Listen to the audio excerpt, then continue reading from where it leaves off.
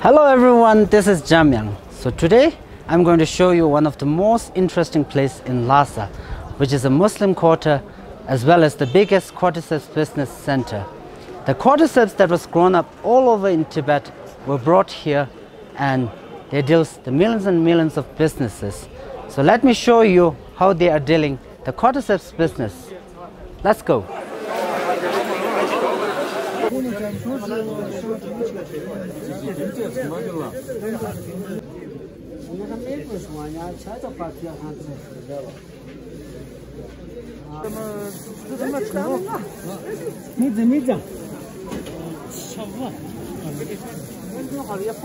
So first of all, I would like to say what is cordyceps. So cordyceps is the combinations of a worm, mushrooms, and the plants.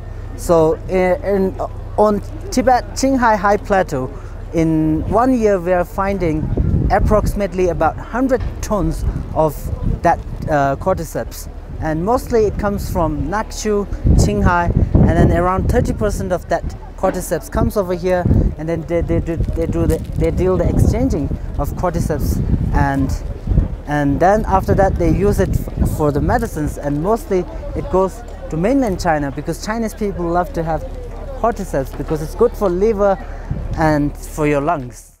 So here you can see lots and lots of beautiful Muslim ladies that they are cleaning cordyceps because it isn't really really fresh cordyceps. It's just like looks like it was just yesterday that they have picked the cordyceps from the mountains and now they are cleaning. So inside the plastics you can see the clean one. So the fresh cordyceps, one piece of the fresh cordyceps costs like 38 yuan.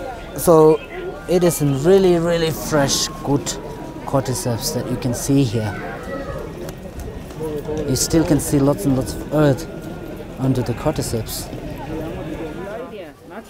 拿到这儿，这个手指垫着这个春草，对对对，然后你手指这样，这样这么拿，这个然后你要这么刷，往上刷，对，慢慢的刷往上，是吧对？So that's how they clean cordyceps from mud. 对，慢慢转着刷。 uh -huh. I have to do it really easy because it's really easy to break. Because if I break that, it costs like 100 yuan for me to buy it. And now I have to do it a little bit faster.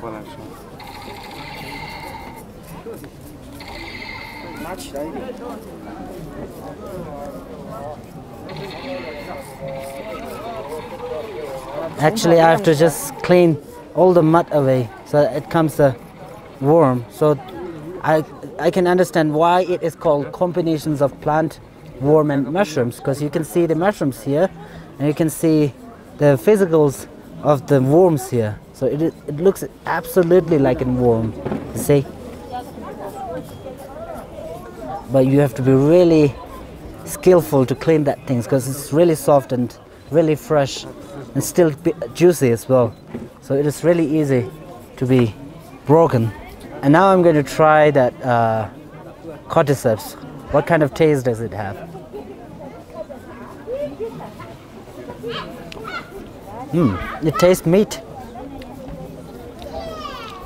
It tastes meat, yeah. And I hope now I get a super good liver and lungs. so the rest of this cordyceps, what I'm going to do is I'm going to make a tea, the tea of cordyceps. So I have to put this into my cup and get some water.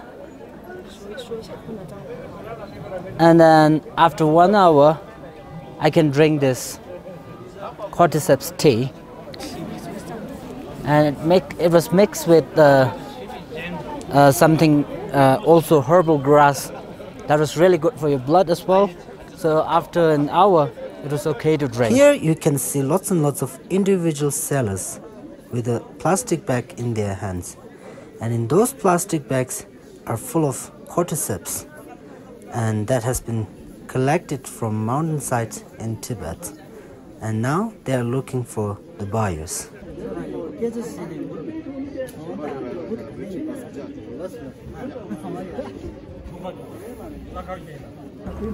So here we have found a ma- businessman So he lives under those cordyceps over here. And all those cordyceps were grown in northern part of Tibet that is called Nakchu. And he was also from Nakchu. So his name is called Ganse and he lives specially under selling those cordyceps over here. And all those cordyceps over here, he was saying that the best, one of the best cordyceps that you can find here because the size of those cordyceps looks pretty big, you say? Oh. So one piece of cordyceps it costs like 50 yuan and all those cordyceps that he had recently picked up from his hometown and it cost like 4,500 yuan for only that much of cordyceps.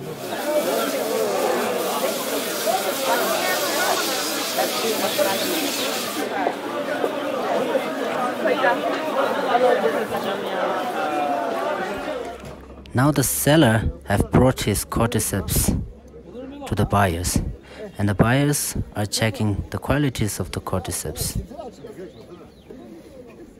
And after checking the qualities, they are going to negotiate the price, but not from saying it from mouth, but by touching fingers under those towels.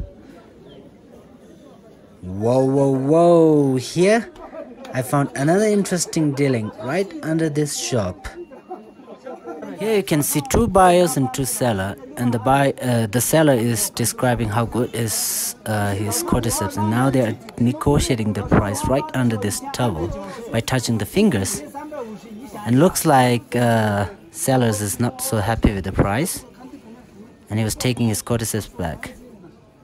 Wait, now the seller wants the cordyceps because this cordyceps is one of the good qualities and now he was checking the quality again. Yep, they are still bargaining the price. They negotiate the price again, once again, I hope it works now. And it looks good. Because the seller is smiling and checking the cordyceps.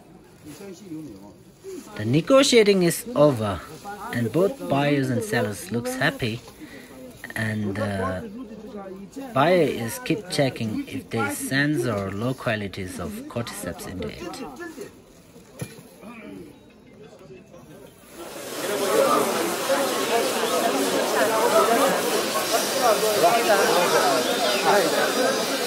So how do you feel after visiting the interesting cordyceps market? The cordyceps that cost like in treasure and the Tibetan peoples and the Muslim people, they are living under to selling those cordyceps. So if you're interested, please welcome to Tibet and explore this place with me together.